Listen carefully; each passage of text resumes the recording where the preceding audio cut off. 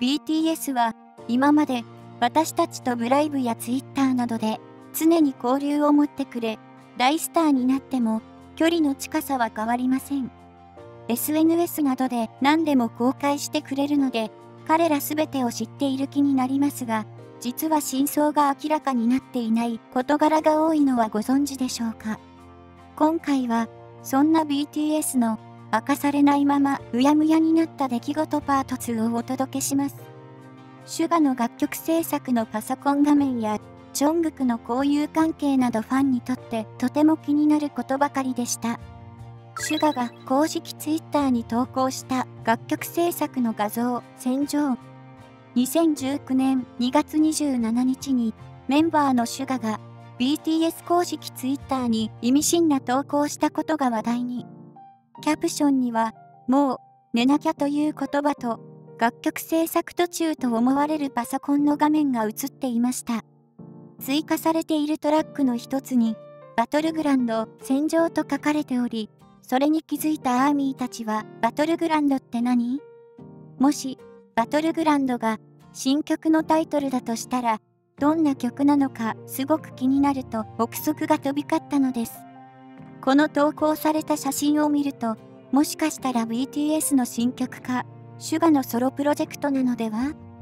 と思ってしまうのはしょうがないですよね。しかも、この当時、近々カムバックとの噂があり、ファンたちの期待がいつも以上に高まっていました。しかし、2022年現在も、バトルグランド戦場という曲がリリースされていないのが現実で、パソコンに映っていた画面の真相も未だ分かっていません。けれど、日頃から多くの楽曲をストックしていると言われているシュガのことですから、もしかしたら彼のパソコンの中にこの楽曲が眠っているのかもしれませんよね。クチルズのルームチャット名を隠すジョングク。K-POP アイドル界の1997年生まれの仲良しメンバーで結成されたクチルズ。メンバーは BTS ジョングク、セブンティーンミンギュドギョムディエイト、ガットセブンベンベンユギョム、NCT ジェヒョン、アストロチャウヌと豪華な面々です。2016年に KBS 歌謡大祝祭での合同ステージとセルカをきっかけに家族でグループチャットを作るなど意気投合し口ルズを結成したのだとか。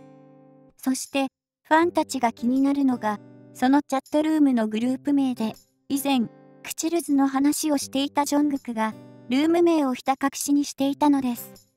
その理由は恥ずかしいルーム名らしく公表できないとのこと。そう言われると、ファンとしては、恥ずかしいってどんなルーム名なの？と、ますます気になってしまいますよね。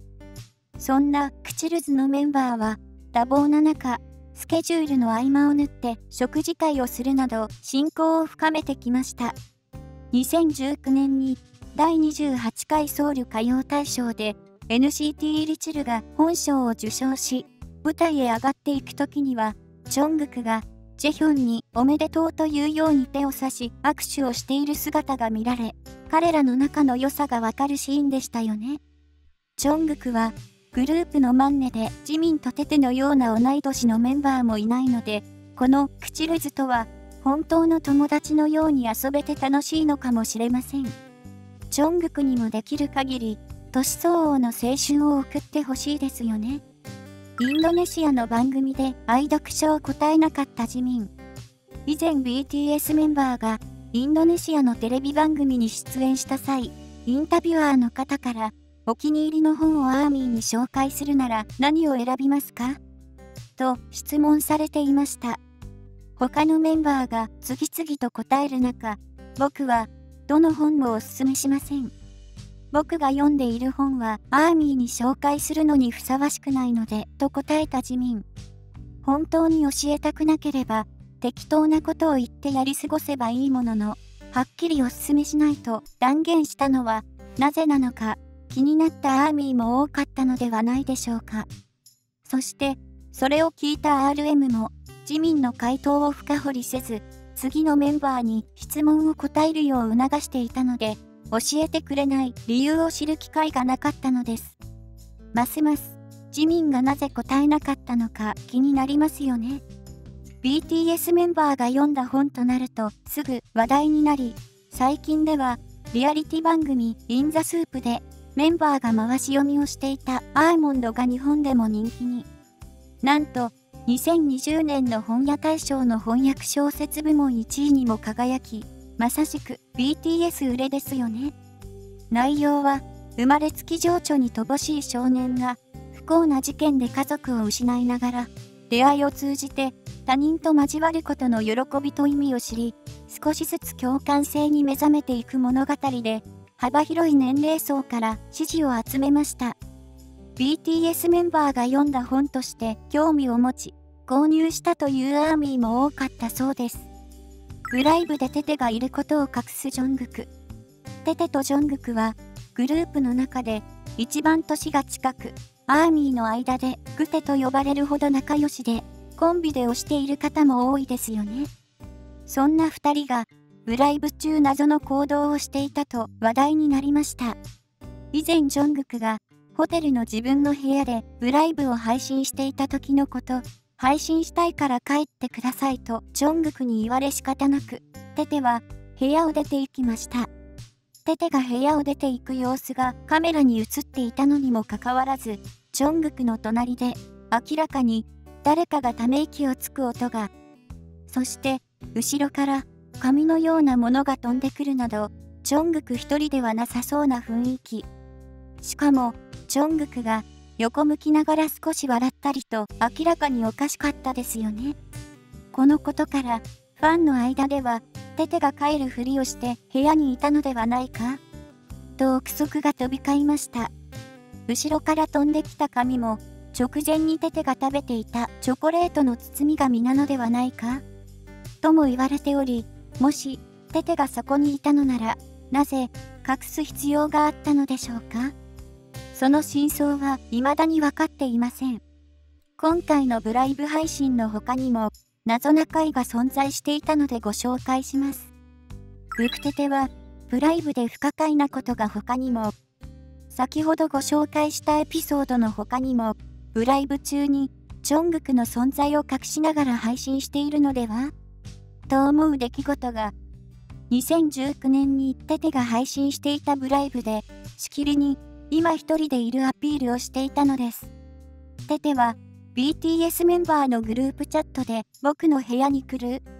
とメッセージを送り自民から行きたいと来たがっていたのにもかかわらず僕が思うにジョングクが行かせないみたいですと発言したことでまたしてもファンたちが推測し始めました。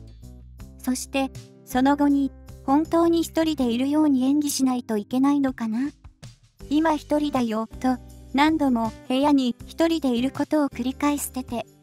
この言葉を聞くと部屋に誰かがいる前提で話しているように感じますよねしきりにキョロキョロしたり落ち着かない様子が映し出されており、もしかしてジョングクが潜んでいるの？と感じた方も多いのではないでしょうか。先ほどご紹介したジョングクのブライブの時もそうでしたが、不思議な言動や行動がありましたよね。もし、本当に、その場にジョングクがいたのならば、なぜ、そのことを隠していたのか、何か意図があったのか、または、ただ、単に、お遊びだったのかは2人にしかわからず、真相は未だに分かっていません。まとめ、いかがでしたでしょうか今回は BTS の明かされないままうやむやになった出来事パート2をご紹介しました。ファンにとって気になることばかりでしたが、真相が明らかになっておらず過ぎ去ってしまっているエピソードばかりで残念でしたよね。もし皆さんが知っていることがありましたら、ぜひ教えてください。